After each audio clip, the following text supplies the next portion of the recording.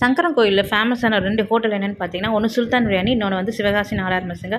சுல்தான் பிரியாணி ரொம்பவே பிரியாணி சூப்பராக இருக்கும். நாங்கள் அன்றைக்கி போன அன்றைக்கி பிரியாணி காலின்ட்டாங்க. ஸோ நம்ம பக்கத்தில் இருக்க சிவகாசி நாடார் போனால் அங்கே செம்மையாக இருந்துச்சு. அங்கே என்னென்ன சாப்பிட்டோன்னு பார்த்தீங்கன்னா மட்டன் சுக்கா பிரியாணி கரண்டி ஆம்லேட்டு அப்புறம் ஃபிஷ்ஷு ஃப்ரை அப்புறம் கலக்கி சாப்பிட்டோம். அப்புறம் வந்து மூளை வறுவல். அங்கே வந்து இன்னும் நிறைய வெரைட்டிஸ் இருக்குங்க. நீங்கள் கண்டிப்பாக அந்த ஹோட்டலுக்கு போனீங்கன்னா ட்ரை பண்ணி பாருங்கள் தேங்க்யூ ஃபார் வாட்சிங்